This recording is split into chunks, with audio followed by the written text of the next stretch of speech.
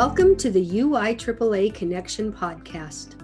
Hometown Ticketing is proud to be the exclusive sponsor of the UI AAA Connection podcast and to provide schools nationwide with the best options for digital ticketing for their events. Visit their website at hometownticketing.com to learn how they can make digital ticketing possible and simple at your school.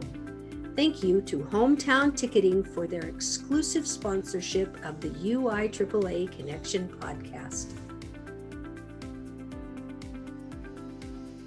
Welcome back to another edition of the UI AAA Connection. I'm your host, Mark Hutch Hunter. Today, our guest is Van Park, Certified Athletic Administrator at Bear River High School up in Tremonton, Utah. Welcome to the show, Van. Thanks, Hutch. It's it's really a pleasure. I've really enjoyed listening to a lot of the different people that have been on here. Well, that's great to hear. And let's have you begin by sharing where you grew up, where you went to college, your first jobs, all those type of things. Well, I, I grew up in a place called Oakley, Utah, up by Kamas, and uh, South Summit High School. Is that where South you went? South Summit High School. Yeah, my Okay. green and white alma mater. And uh, back then, it was it was a lot of most of my life was other than sports was farming. They had a lot of dairy farms back then. Now it's pretty much big cabins and huge homes and and Oh, yeah. uh, but back then there was a lot of hay and to haul and a lot of sprinkler pipes to move and and cows to milk and so that was a lot of my summertime and always loved it back then when uh, sports started because that meant I could quit working so much. But uh, I loved where I grew up. Other than Salt Lake had green grass in in uh, March, and we'd have snow till after April. But but I did Oh, love sure. growing up there. And then uh, served a mission, then went to uh, Utah State and graduated from Utah State, and that's where I met my wife and and started my uh, decision making to to definitely be a coach. I always thought I'd want to be one, and and my dad um, was a coach. In fact, he was the first girls coach at South Summit for the first two years. He did it for free, and and uh, then he tried to talk me out of it for not because he didn't think I could do it, but he didn't want me to do, have some of the heartache that sometimes goes with that. But he was so happy that when I still did do that and got my first teaching and coaching job right out of college up in Dayton, Idaho at Westside High School. I never even had heard of that place before. There were 180 students. I was um, amazed that you could see from one end of the school to the other, and all the lockers were open with the coats hanging out, and, and uh, really safe environment. And had a great experience there for seven years, and then the job opened up at Bear River in '95, and uh, my wife was already teaching French here, and so it really made it nice. So that we didn't, I, we were living in Lewiston, Cornish, and I drive a half hour to Idaho, and she drive 45 minutes over here. So it, it was really nice when this job opened up, and I got I, I was able to coach here for for uh, 25 years. When did you become the athletic director then? Uh, back in 2007. And so for a quite a few years, I taught health half the day and coached boys basketball and, and was the athletic director. And then after 2009, it was getting too much. And so I stepped down from coaching. And after one year, they really needed a, a girls coach. And so they asked if I would please do it. And I jumped back in that for five years. And and then as as you know the job continually got more and more and more until i finally had to to uh, stop coaching the girls also Let's go back to Oakley. You graduated from South Summit in the late 80s. in 1980 yeah yeah fighting class I'm- I'm trying to think. So 1980. So this was, I hate to date myself, but I think back to the Singer-Swapp days, and that was in the late 80s, early 90s, wasn't it? When that Yeah. happened. So that was after, yes after you Yeah, I- graduated. yeah in fact my they lived just three miles down the road, and, and it was my church house and stakehouse that got bombed, and and wow. my mom had my mom had uh, one of their kids in first grade when they pulled them out of school, and so I was quite familiar with with that whole situation. Well, that had to be pretty pretty traumatic. It would be it, normally for anyone, but Oakley yeah. being such a small community. It really was, and and it, it, wasn't something you heard about on the news all the time and or read about. So it was really quite uh, quite crazy. Well, tell me about the youth sports, the opportunities up there. I know years ago when I was coaching girls basketball in the 80s, I used to take my girls team up to, to Juddy's camp, and he would always have it just seemed there was an endless supply of Rydalches. Like, and, and, I can't even keep track of them all. Just one would would grow up and then and be too old to be camp and graduate from high school, and then there'd be another Rydalch, and then another Rydalch, and then another Rydalch. Yeah, they were actually they actually came and lived in Oakley uh, just when I was on my mission. But I got to know the family really well. The the, the dad is still one of my late dad's greatest friends and, and did so much for my dad and and just loved Craig and Mark Rydalch. I I knew Craig better because Mark was pretty young at the time, but uh, mm-hmm. I always followed both of those as they went through the U and and everything. And uh, Mark, I mean, uh, Craig lives up in Oakley with his wife, who I grew up with also, who was a Wolstenholme, who pretty much uh, half the town was Wolstenholmes. And, Wolstenholmes, yeah. Wade obviously used to yeah, be on the Wade executive was, committee. There Wade you was, go. Uh, just two years younger than I, and so I I could tell you all kinds of stories about him too. But I'm sure. Let's talk for a moment about some of the mentors you had growing up. I'm sure maybe your parents you want to mention, or some of the coaches you had, or even some of the teachers you had. You know, I was I was really fortunate. I look at kids that I've taught and haven't had the same opportunities, and I was really really fortunate. I had definitely one of my role models was my my father. He he loved the game of basketball and he taught me about basketball. In fact, my mom was a is a saint because back then all the the rooms were the rollout t- tile in the in the house and upstairs my dad uh, right by the living room built me a basket with plywood and a rim and a net and a two before going down into a railroad tie. And i just dribbled and shot and played. And, and uh, that was my whole life. I'd watch a, a basketball game on tv as a kid and then go play. And and my poor mom had to been driven crazy hearing that ball bounce all the time. But then my dad coached for a couple years basketball at Park City, and then he, like I said, he was the first girls coach and and coached the girls until his heart just wouldn't let him anymore um, with the heart problems that he had. But he taught me so much about loving not just the game, but but loving the process and the lo- loving the, the girls and the guys and whoever you were coaching and and I looked at some of those people that he coached and how they would just have stars in their eyes around him and and and how kind he was to them and and I, I wanted to have that in my life. I, I wanted to make a difference because I saw that in my dad's life and I was fortunate to have great coaches. I had uh, in basketball Camp Frazier who ended up being in the coaches Hall of Fame and I had Tom Crittenden who who won numerous state championships there. And, and, and so I was very fortunate to have those as my role models. And other than my dad, probably my biggest role model was the football coach at the time when I went to Westside. His name was Lyle Henderson.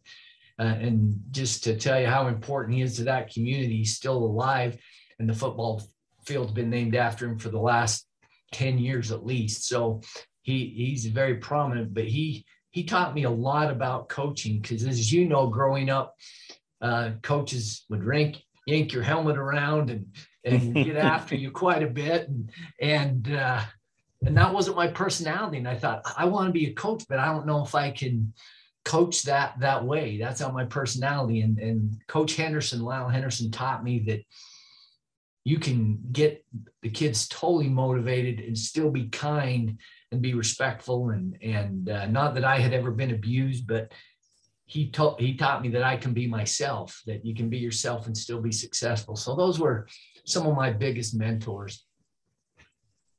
Thanks for sharing that. Let's talk for a moment. You've been an athletic administrator for what, at least 15 years now. Yeah, this is my 16th. So- yeah. So, talk about how the job of an AD today is different than when you started 15 years ago. Talk about how it's different from 10 years ago, and talk about how it's different since the pandemic hit. I mean, obviously, Two there's years been, ago. Been good and bad and everything. I remember when I first started going through just piles and piles of papers and, and how grateful I was to, to be one of the very first on board with, with Claire and, and Logan, who kind of set up the register my athlete and was one of the first ones to try that out and get rid of some of the paperwork. And, and, but then I, um, my forte definitely wasn't technology and, and trying to grow with the technology was, was, was difficult. But, uh, when I first started, I think, uh, back and I, I had plenty of time to coach and be athletic director and teach health and and and try to be very good in the best that I could in in all of them. And and things have just grown to the point where uh, there's just no way that that I can see me being able to. Maybe somebody's got a little more uh, organization organizational skills or time than than I do but I just don't see how somebody could do that in in today's world I I I look at uh, when I first started and, and I've always been one of those that wanted to learn. I felt if I wasn't growing and learning, then I was getting worse. And so I went to the very first year I went to to the coaches clinic down in St. George and took classes and and was scared to death with Dr. Dr. Green. Took Yeah. the 504. Yeah, and, Yeah. and on the, I came home and told my wife, I go, I don't know if I can do this. Uh, it, it scared me to death with all the lawsuits that were going on, and didn't realize all the responsibility that an athletic director had. I, you know, I, I, I knew that they scheduled games and buses and set up gyms and things like that, and but I didn't realize all the other other avenues that a athletic director had, the jobs that they had, and. Uh, probably the last 10 years it's changed even more so and really the last five years. I, I look back to my first three or four or five years i maybe would have a parent in my office or an email. Of course the the texts when i first started i did, i remember getting that first flip phone after my first about third or fourth year as an athletic director. And so the access wasn't quite as easy but i'd get one or two or three a year and now it's it takes up so much of your time. Just You get one or two or three an hour. yeah, exactly. So so that just takes up so so much time, and uh, so the things that that you really want to do of of coaching coaches and working with kids is has uh, kind of diminished and been taken up with a lot of more administrative type duties. Um, but one thing that I, I really feel hasn't changed a lot, and that is how great kids are. You know, people all people say all the time, "What has happened to kids today?" And and I just say they're just following their role models, and and uh, and so I, I wish athletic directors had more time to coach their coaches on building relationships and working with kids and being those good role models because our our kids need it more today than ever before. Excellent answer. Thanks for sharing that. Let me follow up. When you became the AD in 2007, who did you replace up at Bear River? Hunter Barris. I was going to say it's, it's you. That's about the time he left. So Yeah. I date myself. yeah, and before that it was Dick Green. He, he was Uh-huh. AD here. He was the one that hired me here actually, and and uh, then we just honored um, Coach Pete, who was one of the very first athletic directors from here, and and was uh, one of the early athletic directors of the year. And so there's been some good athletic directors here, and but I followed Hunter. Share with us one thing you wish you had known when you started your career that you know now that you wish you had known then. oh, I, I, I wish I would have known that it was uh, more than just scheduling. You know, I, I, I wish I would have known that uh, that was the easy part as far as, yeah, it takes time, but honestly, as far as stress and everything else, it's that's the easy part. And that's the even though it's a necessary evil, it's the least important part of the job. That that the real important part is is is, is teaching, you know, coaching coaches and and trying to develop a relationship with kids when you're not coaching them on a regular basis like you were able to when you coached them and and and try and develop that relationship so they felt comfortable coming to you with with problems that they they were having and and so that you could get their insight and their honest opinion on things and and then I I, I could have I wish I would have known how many classes I needed to take in how to deal with uh, with parents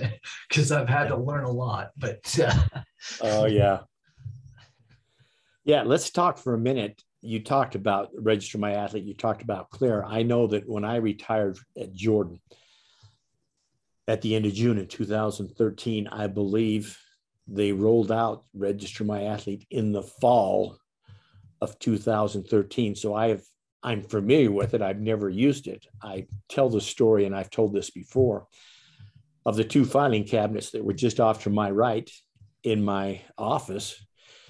The top two were for seniors, the top bottom two were for juniors, the top two of the next were for sophomores, and the bottom two were for freshmen. And just the file you had on each kid. And of course, now those two filing cabinets are non-existent and now you're able to do it online so I know the Utah people are familiar with it, but anybody who may be listening nationally share about how that's been a game changer for us here in Utah. Oh, it, has been unbelievable. It's like you said, I I had I wish I would have had uh, talked to you ahead of time because I had a filing cabinet for for uh, the year uh, a year uh-huh. And then another year was another filing cabinet because they they always told you to keep them for at least three years and right. three years of, of, files. And I kind of wish I, I now you mentioned that I wish I would have had one just for juniors and seniors and then just kind of moved them up that way. That would have been a smarter way. But but uh, trying to keep track of that paperwork and kids bring them bring them in at all different times and they're not all filled out. So you have to send them back and then they lose them and so you got to get them some new ones and and then you you finally get what you need and you check them off the list and you put them in the file and and uh, it just took an amount an immense amount of time and now to be able to just have them do it online and they still turn in their physicals to me, but uh, and, and they still have a hard time getting all those three pages right. But but uh, everything else, they just click buttons and and uh, it it's just saved so much time and been a great way to communicate with with parents too, as far as your kid needs this or this is coming up. You know, the tryouts are on this date, so please have them all cleared for tryouts by this date and that and then you don't have to run after a coach or or call a coach and say this kid's eligible or this kid's not. That coach can look right on their their register. My athlete and see it says cleared for tryout they can try out. It says they're complete. That means they paid their fees you know and and you don't have to run back and forth between the coaches to let them know who's uh, taken care of and who's not. And so it, it has been a real game changer. And it's so very well said. I can remember going to my media person and taking a stack of stack of paper, 500 sheets, and having them cut it into fourths. And on each fourth, it was student's name, and it had check spot, missing physical, missing hazing agreement, missing Jordan High agreement, missing Form A, missing Form B. I mean, it was, and I can just remember back and forth and back and forth. So, thanks so much for sharing that. And I'm sure other there's other software out there for other people in other states, but I know that uh, the ads are happy here. Let's let's shift gears for a minute, Van, and let's talk about your biggest failure or biggest disappointment in your life and what you learned from it.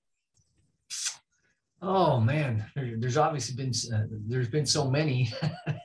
I, I, think of probably one of the the biggest ones was was uh, high school was kind of easy for me, and uh, college not so much especially i remember my first uh, semester at utah state uh, not doing so well and uh, mainly it was because i spent so much time over at the HPER playing basketball and not so much time studying in the classroom and and uh, and I remember my dad always saying, "How's how's school going? How's school going?" My mom, "How's school going?" "Oh, it's going just fine."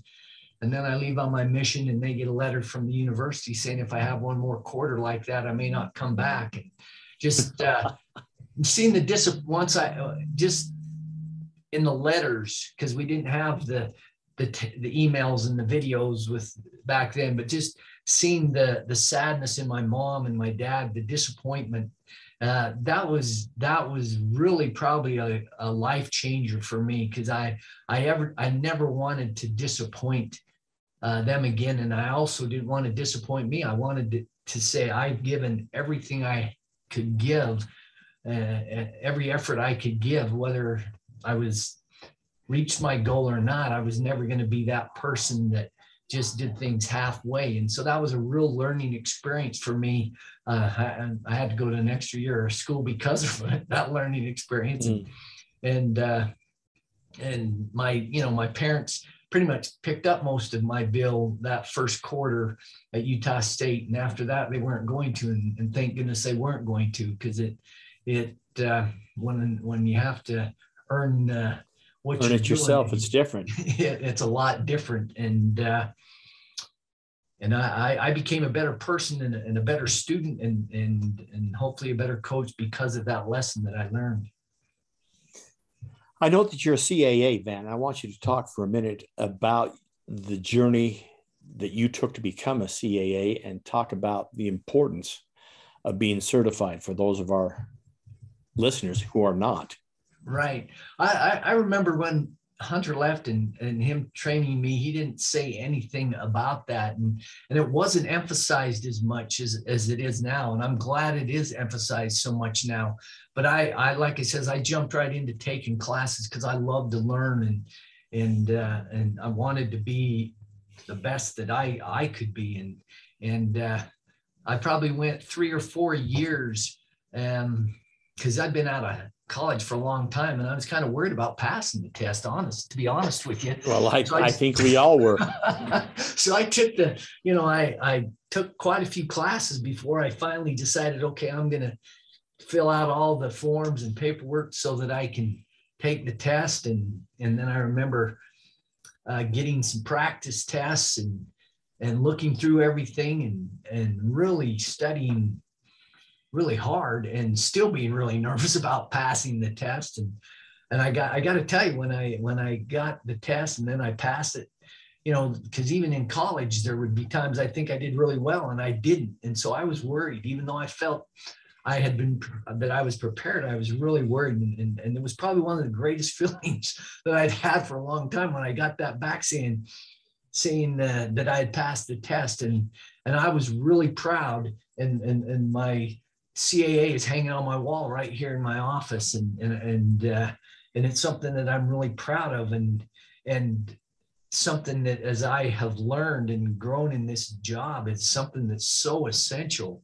Um, I know Rick Rich Barton has talked a lot about it, how just that CAA alone is is is is a insurance policy for the school, and how Dr. Green would talk about you know the lawsuits that he had dealt with and if if uh, athletic director had been trained in those areas or if a coach had been trained in those areas the court the courts looked a lot more uh, what's the word? More on, Favorably. on their side. Yeah. Right. And, and would look in their favor because they had done all they could to to be trained. And I just think in today's world you know, where it's a blame everybody else society going clear back to when that that lawsuit was because somebody got burned from the McDonald's hot chocolate because it didn't say it was too hot.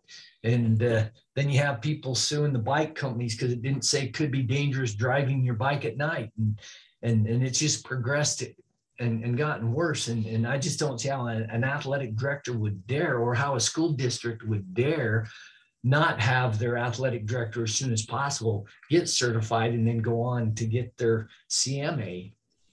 Well, you know, based on the well, the survey that that we sent out, Big Rich and I, as you know, have been working with the legislature to try to get that bill passed uh, yes. for an annual stipend. And of course, it's been tabled because the school boards and the superintendents uh, decided they didn't think it was such a great idea. But part of the survey that we took of our members, I think there's 46 CAAs or CMAAs active in Utah, but there's 150 athletic director positions. Now, some of those are uh, doubled up. Right if you know what I mean. Like uh-huh. some of the schools in the Granite District have two, but that's clearly that's just barely over one fourth of our people that are certified. And of course, our big point with the legislature was the person in the building that has to certify to the UHSAA and to the State Board of Education that all the coaches are certified doesn't require certification. But that's, I guess, that's the irony of the situation yeah and and it's and it's ignorance honestly if before i got into this this this job i wouldn't have had a clue what responsibilities uh, an athletic director has in getting those coaches certified and the difficulty it is to, to especially in today's world anyway at our school it gets harder every year to find a teacher in the building that wants to coach because teaching has mm-hmm. become so difficult and so you're dealing with people that have other ways of making money outside the school and trying to make contact with them. And, and they definitely don't want to do all this certification. And so it's like pulling teeth sometimes. And, and, uh, and but they need to they need to be certified just so that it can keep the school out of lawsuits and and help them to be better coaches and better mentors and uh, you know, hopefully someday there'll be enough superintendents and, and principals and everything that will understand exactly what it entails and how it is is saving them in the long run and also how it's helping kids as we're able to pass on information to these coaches so that they can be better coaches to these kids it's just yeah, you know, I, I yeah. some ways I don't blame them because of that ignorance, but hopefully soon people will realize the uh, the necessity of it. That it's not just something that we want; it's something that is mm. is needed and critical. Yes, absolutely. Thanks for sharing that. Let's let's have you share with our audience your journey. Obviously, you you became the athletic director 2007.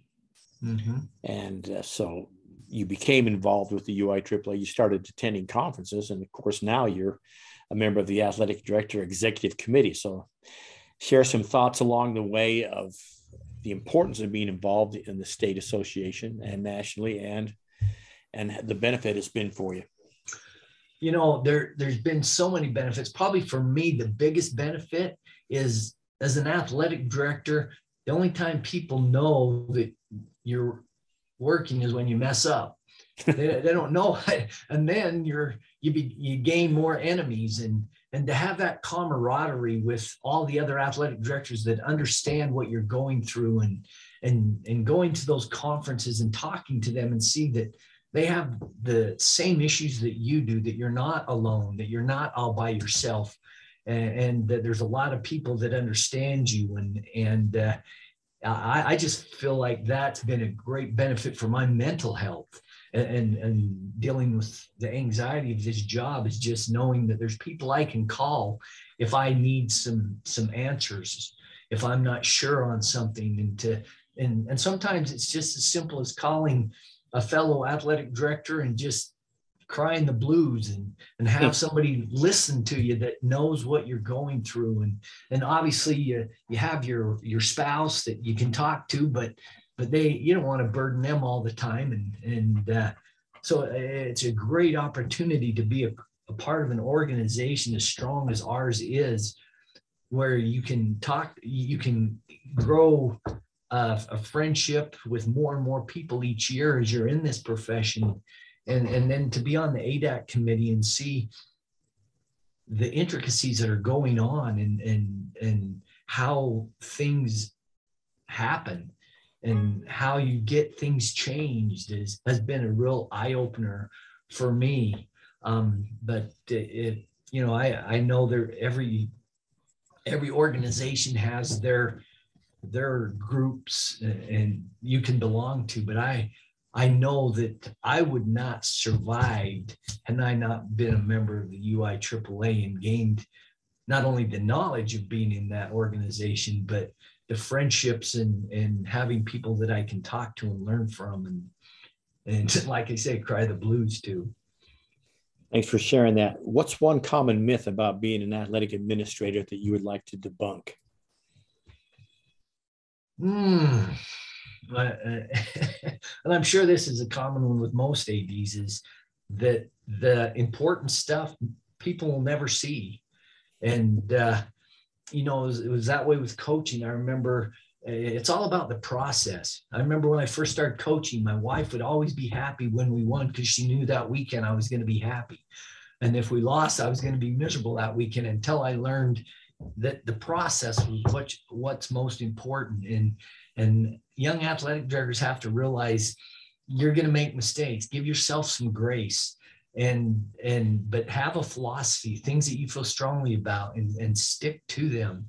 And they might change as, as you learn but but it's not just about paperwork. It's not just about setting up gyms. Those are the time consuming but they're the least important. It's it's all about learning how to to develop relationships with your coaches and with your parents and your community and and, and the students. And and uh, that that's that's where it's all that's where all the time and stress and and honestly the gratification comes from. It's so very well said. I think if i'm hearing you right which i'm sure i am even at my advanced age that you know find find the joy in the journey. The joy is not yeah. necessarily the destination but you've got to have fun along the way uh, with the people that are there and with the kids that are there. So Yes. Thanks so much for sharing that. So let's have you share with our audience what's the favorite part of your job? Oh, it's, eh, I guess there's two parts. One is the kids. I, I still love to go to, a, there's nothing like going to a high school game. I, I go to Utah State games all the time or watch others on TV. There's just nothing like the energy that kids bring and the love that, and excitement and that they bring. And uh, and to see kids lives change because of the activities that they're in is still so rewarding to me even though i'm more in the background just observing now. But uh, that that's probably one of my favorites and, and, then the other is just to see something come together. Like when when they uh, when lacrosse became sanctioned. And when girls wrestling came sanctioned and i would go before the board to because we had a lot of interest in, in especially with our girls wrestling that first wondering if we would even have be able to have it. And then to have 15 girls the first year and then this year we had over 30 and the success that they've had and to see the excitement in those girls eyes that wouldn't have had a chance to to do that has been so rewarding. But so just like you say to just see the journey of different different things and, and know that even though i was a small part of that that i was still a part of that. And i can look back years from now and say yeah i i remember standing before the board with a coach uh, saying the why we wanted girls wrestling at, at Bear River High School. And and know that you're a small part of that change is has been so rewarding. Let's talk for a minute about your principal. I know this isn't on the sheet that I sent you, but you and I share a, a, a common uh, friend, let's say. It's yeah. because AJ grew up across the street from me. He was like he was part of my young men's, and, and to uh, to have him be the principal of Bear River is a I'm giving a shout out to AJ. Just give you a, a, a, moment to talk about what a great kid. Well, I can't say what a great kid he is. He's your principal now. He's all grown up. No, I I I joke with him all the time. He's just a couple of years older than my oldest daughter, and but uh, I've learned a ton from him and and his enthusiasm and his his willingness to to to look at what's best for kids, even if it goes against tradition sometimes and seeing him make the hard decisions and and and realizing there's no way I'd ever want to be a principal. And but he has been so supportive and uh, you know he grew up loving basketball and other sports and and and he he coached uh, for some years. And so he understands that aspect of it. And and it, it has just been real fun to have him he you know he's honestly the one that fought so that i could be full-time ad because i was the very last one in our region anyway that was that still taught and was an athletic mm-hmm. director and he fought hard for for me to to just be an athletic director and I'll you know I'll go to my grave extremely grateful. I remember when he told me that was going to be the case, I actually got tears in my eyes. And so he'll always have a close close spot in my heart. Excellent. Let's finish up with a couple of questions. The first being, Van, if you had two pieces of advice for a beginning athletic administrator, and your advice would you have to do these two things in order to be successful as an athletic administrator what would those two things be one would be a, probably attention to detail you, you have to be detail oriented you can't just say okay i'm going to do this and and assume that it's going to get done every time and you have to sometimes you have to check and recheck yourself because again, people aren't going to notice unless you mess up. And if you mess up, it's usually something pretty big. If a game's going to start and you don't have officials, or you don't have a bus, or or some uh, kid is didn't make, didn't get through the transfer process, and, and your team and your school, your team has to forfeit games or things like that. You really have to be attention to the detail. And uh, the other big advice would be something that do as I say, not as I do. And that's be learn to be a good delegator because you can't do everything on your own. And uh, my wife tells me it's my own fault. Once you start doing something, uh, then the coaches or parents or whoever's going to expect you to keep doing it. And then something else pops up in your job and then pretty soon you don't have enough hours in the day to do it all. So it learned that you got to trust people too. You, you got to train your coaches that they got to take some responsibility. And, and then trust them that they will that they're adults. And, and if they make a mistake then you call them on it and, and they'll learn. That's probably been the hardest thing for me is not to just say okay it's easier for me to just do it myself than to try and train somebody to do it and, and watch them make a mistake and then have to go and pick it up afterwards. But you have to, you have to train other people and, and learn to delegate. Van, what's the one question that I failed to ask you that I should have asked you? Oh, oh man, I, I don't know. You did such a great job, Hutch. Uh, I, you know, I, uh, you know this probably the only thing I didn't bring up that was was my family. That that as an athletic director you have to have a supportive wife and you have to have supportive family. And I am absolutely. grateful for for my supportive wife and my children. And and then now my grandchildren which mean everything to me. And and and I know they do to you as I've as I've followed you with your children going through Corner Canyon and and your grandchildren. And and uh, and so make sure athletic directors that you you give time to your family too and that you always let them know how much you appreciate because they do a lot of sacrifices so you can never be home thanks man that wraps it up for another edition of the ui aaa connection once again our guest today has been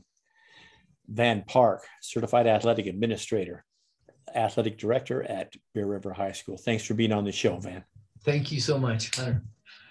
for our listeners we hope you join us again next week for another edition of the UI AAA Connection.